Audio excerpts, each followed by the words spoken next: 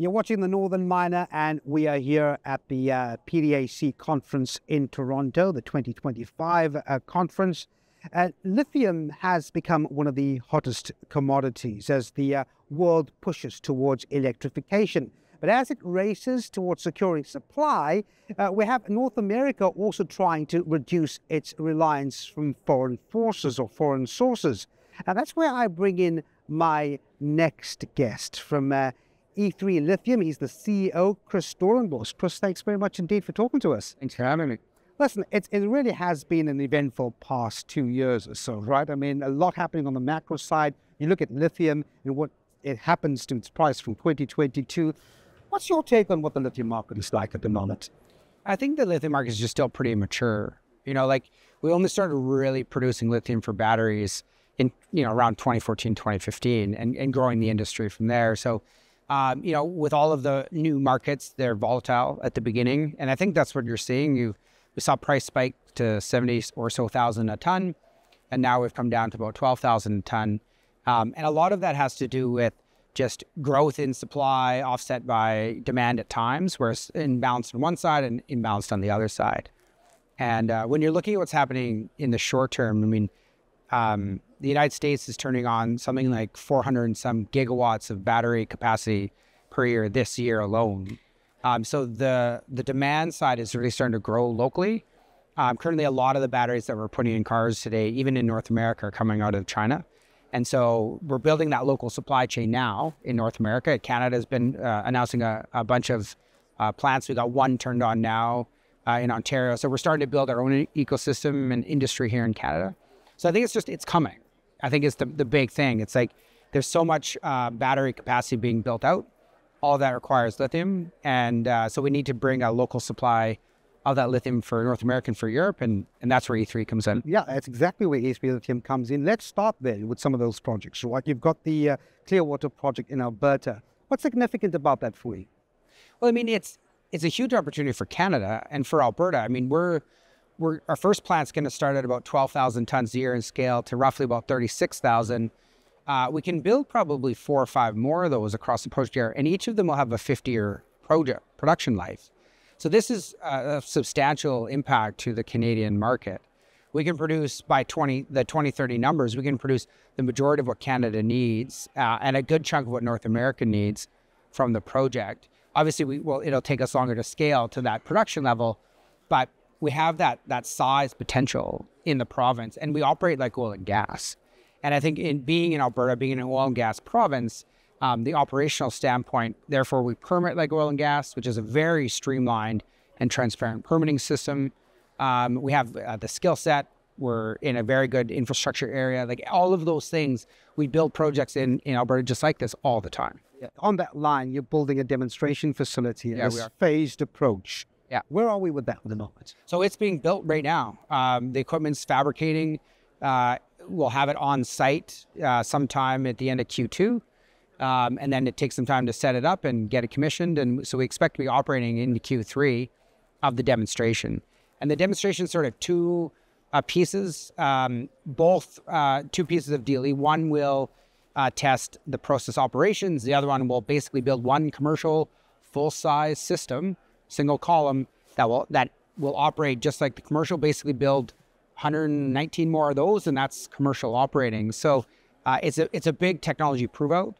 The other side of it is that um, we're going to produce battery grade lithium carbonate at the demo, um, which means we're being able to demonstrate that we can you know produce that on mass at, at that scale, uh, but also be able to give that to our, our potential customers um, who need to see regular production of that over time um, as part of qualification. So pre-qualification can start effectively with that. It's interesting you answered that because I was about to ask you, you know, lithium hydroxide to carbonate, that's, that's in your process, right? What's, what's the motivation behind that again?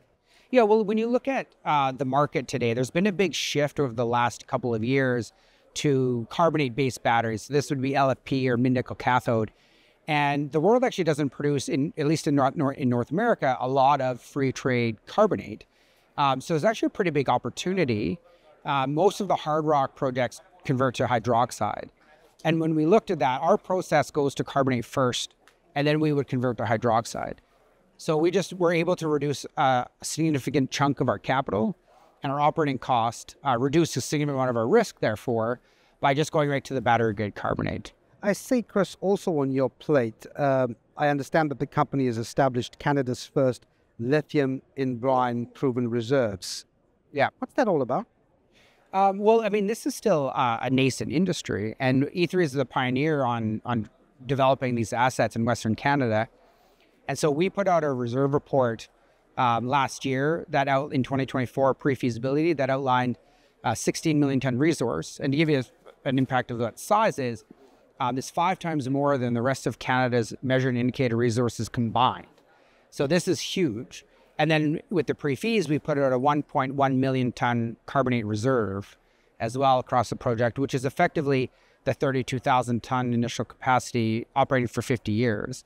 Um, and so that just gives you the size and scale. And if you look on our website, you see the, the little postage stamp of our project that that encompasses. You can easily see the scale potential that we have. Um, you're in an agreement with the US-based Pure Lithium, and that's that's the supply. We're jumping back to the concentrate, but that's the supply concentrate, isn't it? Yeah, the, the goal there uh, with them is, and what we're currently doing is working through uh, taking our chloride, our concentrate, and converting it into lithium metal. That's what they do, and then they put that, they plate that on copper, and then they make batteries with it. And our and our combined goal of that, and, and we're just going through all of the validation steps right now, and that was what we announced uh, last year. The goal is to form eventually a joint venture on the southern end of our project area, and uh, and make batteries in Alberta. And so I think it's a huge opportunity to vertically integrate by partnering. You know, we're not going to develop a battery technology. That's not our skill set. But our process lends itself very nicely to their process. And so that synergy is very important. Now, presumably, you've mentioned a lot of this in your previous answers, milestones for 2024. Much of what you said would be included on that list. And there's more? Yeah, I mean, the big thing right now that the team is focused on is sort of two major project development aspects. One is the demonstration facility we talked about. The other is that we hope to, around the same time that that's turning on, submit our commercial facility license under uh, in Alberta under the AER called the Directive 56 NRP application. And those two are really important because that sets the clock. And right now, our best guess is about 12 months to get a permit based on historical averages that we see in Alberta. Um, and it's all provincially uh, jurisdiction. So for the permitting, uh, so we expect to have this project fully permitted by mid 26. And that's a huge advantage because um, again, there's not a lot of projects that can move that fast through the permitting, and that's just a function of how uh, Alberta operates its its permitting system. And finally, as I'll let you go, what else is on that yeah. future 2025 list that you have? I think the the other big thing we're looking at is bringing a strategic to the project.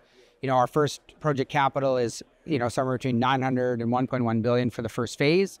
Um, obviously, for a small company, um, that uh, that's a big capital that we need to secure, and, and majority of it will come from debt financing. Um, but all of that de-risks with a strategic involved.